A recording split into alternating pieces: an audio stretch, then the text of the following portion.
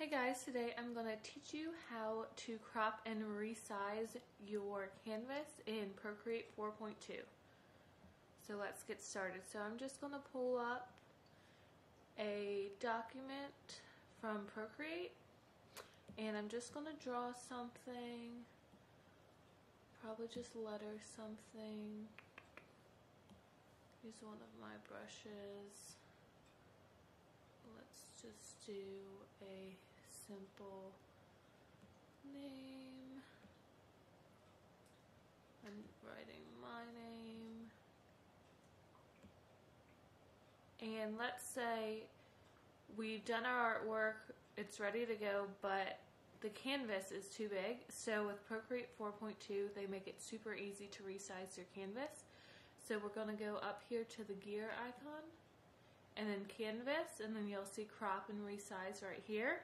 And what you can do is you can either drag it with your finger and crop and resize this way. Or what you can do if you need a certain amount of pixels per edge.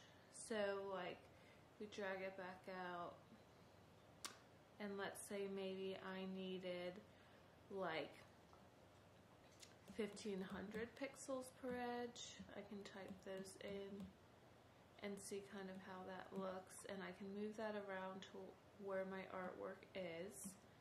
And if that's exactly the size I needed for whatever project I could click done and be good to go. But for me let's say I want to turn this lettering into some sort of graphic for branding or something like that where I just want the canvas size to be exactly the size of the lettering.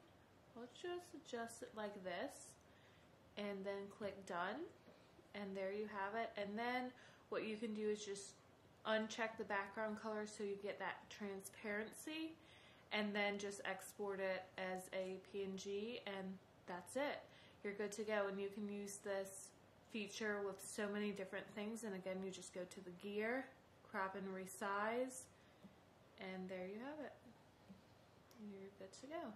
So I hope this was helpful and I'll see you next week on the next tutorial.